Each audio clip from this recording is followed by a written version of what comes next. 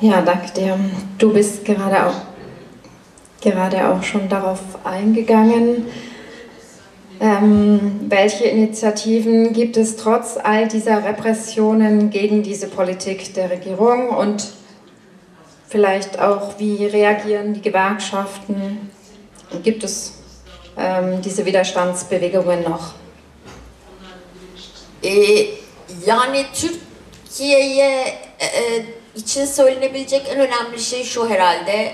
Hakikaten gerçekten e, bütün baskılara, bütün felaketlere, yaşadığı bütün e, e, e, nasıl diyeyim ım, şiddete, kötülüğe rağmen e, muhal, ciddi de bir muhalif geleneği var. Ee, bu muhalif geleneğin a, ayakta durmasını sağlayan bir şeylerden bir tanesi Kürt hareketi. Çok önemli.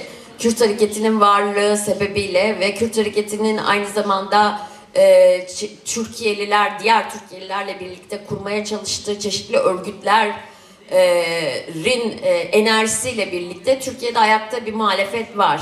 Kadın hareketi Türkiye'de çok önemli. Herkes e, sinmişken e, kadın hareketi en, en azından mesela barış konusunda sesini çıkartmaya çalıştı. E, en e, AKP'nin ifşa edilemez dönemlerinde AKP'nin kadın politikalarını ifşa etti. Kadın hareketi çok ciddi bir güce sahip. E, bunun dışında irili ufaklı çevre hareketleri e, yani e, gerçekten e, be, şeyde beyaz yakalıların çeşitli örgütlenme çalışmaları oldu. E, Türkiye'de hala hafızası taze bir e, ciddi e, güçlü muhalefet var. Bu, bu hafızanın tazeliğini ve insanları hala ayağa kaldırabildiğini de en yakın seçimler zamanında gördük zaten. Ee, bir kere bunu söylemek lazım. Yani e, insanlar kesinlikle pes etmiş değil Türkiye'de. E, fakat bunun bunu devam ettirebilmeleri yani bir an parlayıp yok olmaması için gerekli desteği alamadıkları ve gerekli liderliği oluşturamadıklarını söylemek mümkün belki. Şimdi iki tane olay oldu en yakın e, zamanda. Bir tanesi cumartesi anneleriydi. Hakikaten cumartesi annelerinin e, korkunç uzun yıllardan gelen bir geleneği var Türkiye'de. En kötü dönemlerde sokağa çıktılar, dayak yediler, işte içeriye alındılar e, ve o zaman hatta acıları çok çok daha da yeniydi yani. Ee, her şeye dayandılar. Ee, kısa bir dönem sokaktan çekildiler. Ee, şimdi tekrar çıkıyorlardı ve en son biliyorsunuz büyük bir saldırı yaşadılar.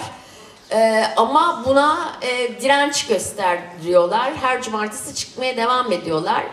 Ee, ama ne oluyor? O kadar büyük sansür var ki Türkiye'de görünür olmuyor. Görünür olmayınca başkalarını katamıyor ve görünür olmasını sağlayacak mekanizmaları e, bu kadar büyük bir baskı rejiminde e, kuramıyorsunuz. Yani cumartesi anneleri ve cumartesi annelerin arkadaşları her türlü tehlikeye, baskıya rağmen muhalifliklerini sürdürüyorlar. Ama gerçekten bu insanların çoğalabilme imkanlarını sağlayacak mekanizmaların hepsi ele geçirilmiş ve imha edilmiş durumda. Ee, işte kayyumlar e, e, yoluyla olsun, gazetelere eş- e, el konulması yoluyla olsun, işte sermaye manipülasyonlarıyla gazetelerin içir, e- ele geçirilmesiyle olsun vesaire. Ee, öbür taraftan yine 3. hava e, havaalanı, havalimanı e, meselesi oldu. Orada da çok ciddi ve muhteşem bir direnişle karşılaştık. Ve e, çok basit taleplerde herkesi aslında yerinden edebilecek taleplerdi. E, herkesi sokaklara taşıracak taleplerdi. Fakat gayet rahatlıkla e, bu insanlar evlerinden alındılar gözaltına, oradan da cezaevine götürüldüler.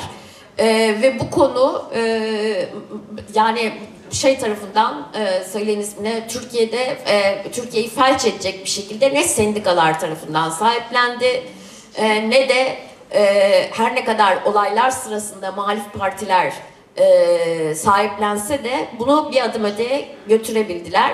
Ne de ne yazık ki dünyadaki emekçilerden, işçilerden e, bir e, bu insanlara bir destek e, sesi gelmedi.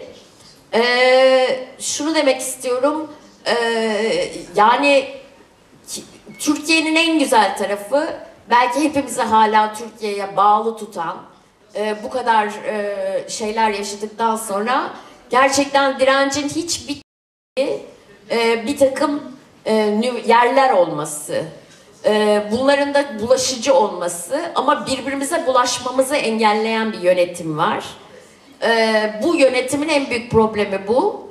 E, bu konuda tabii e, hiçbir şekilde bence bu kadar sansür olan e, bir ülkeye hakikaten e, dış yaptırımın veyahut dış desteğin bu çerçevede dış desteğin e, olmaması da e, olayları e, içinden çıkılmaz hale getiriyor.